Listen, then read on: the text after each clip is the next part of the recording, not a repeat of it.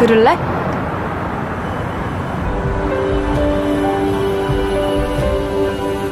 여기서 그냥 포기하면 평생 후회할 것 같아. 오랜만이네. 그동안 어떻게 지냈어? 누구 나 몰라.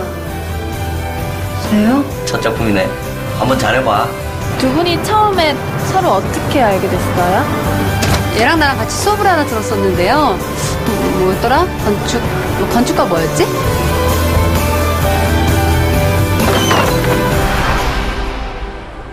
너도 말 놔. 제가 못 나요. 노라니까?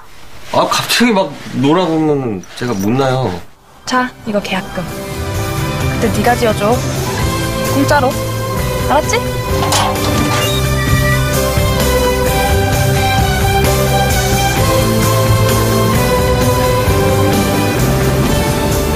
너 옛날에 약속했었잖아. 나 집 지어준다고. 기억 안 나? 약속. 첫사랑이 원래 잘 안 되라고 첫사랑이지 잘 되면 그게 첫사랑이니? 마지막 사랑이지 왜 날 찾아온 거야? 궁금해서. 지금은 어떤지. 궁금했어.